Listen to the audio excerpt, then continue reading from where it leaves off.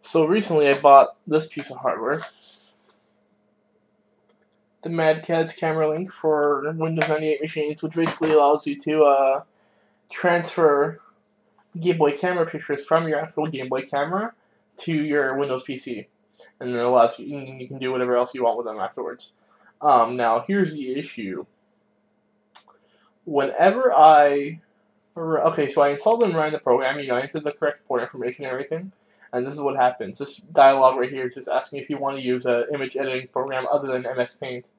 Uh, so I'm clicking no and OK, and the program just launches for a second after it crashes. Um, so I looked online, I looked for some guides to see if anyone has managed to get to work on Windows XP, because again, this this was meant for Windows 98, I guess. Um, so I found something on the on the sorry on the Flickr page for uh, the Game Boy camera. There's a group there.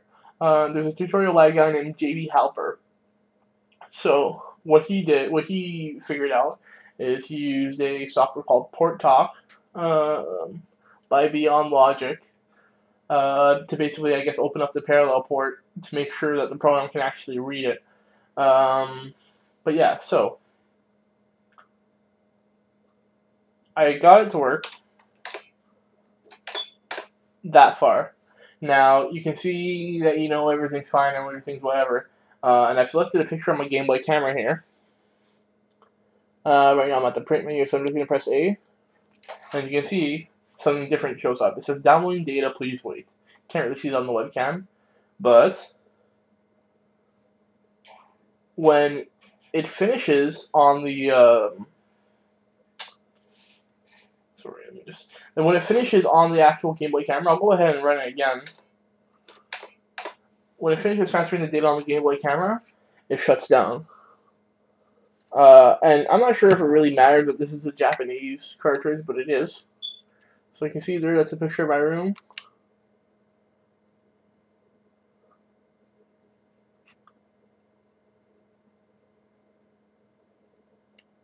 And as soon as it finishes transferring from the Game Boy, uh, it actually, the program just shuts down. So I'm not exactly sure why this is happening. I figured I would maybe post this on the internet and see if I can get some sort of solution or answer or something along the lines of that. But hey, um, okay, this thing froze. Let me shut it off. Uh, but regardless, that's what's happening with my life right now. Um, so yeah, if you ha- if you have a Windows XP machine, you've actually gotten this to work uh, and you're doing something different than I am right now, then hey, please, please, please, please, please, please, please, let me know. Thanks.